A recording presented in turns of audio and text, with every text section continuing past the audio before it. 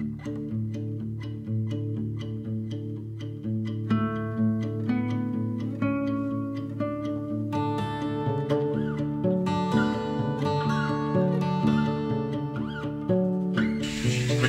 I am Moses Ekman Yotirayos, grade 6 SLB.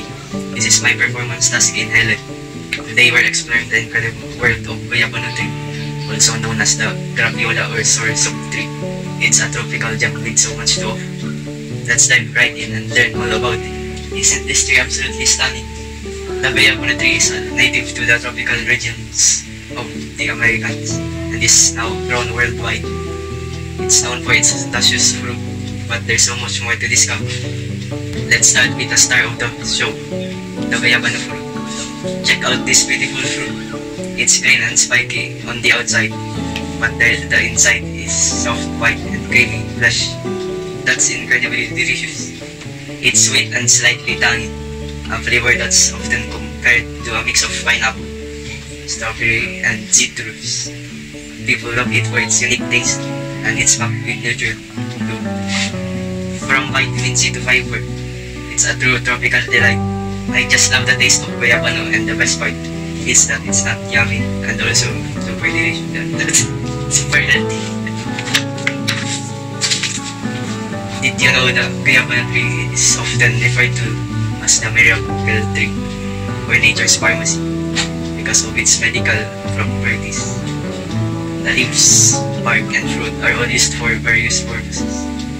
You can find Guyabano products like tea, extracts, and supplements that are believed to have a wide range of health benefits, from potentially helping with digestive issues to being used as a natural remedy for certain. Tree is like a treasure just of natural medicine. It's it's essential to highlight the conservation effort surrounding Guyabano tree. These incredible trees are sometimes threatened due to deforestation and habitat loss. The more we can do to protect these trees and their natural habitat, the better. The better. After all, they're not only beautiful, but only an important part of our ecosystem. Let's all do our part to ensure the future generations can enjoy the beauty and benefits of Guyabano tree. Well, there you have it, folks.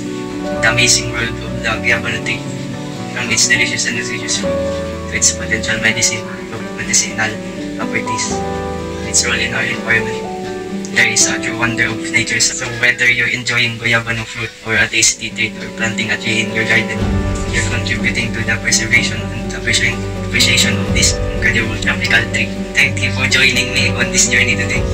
If you enjoyed this vlog, please don't forget to like and subscribe for more exciting episodes of Nature's Wonders.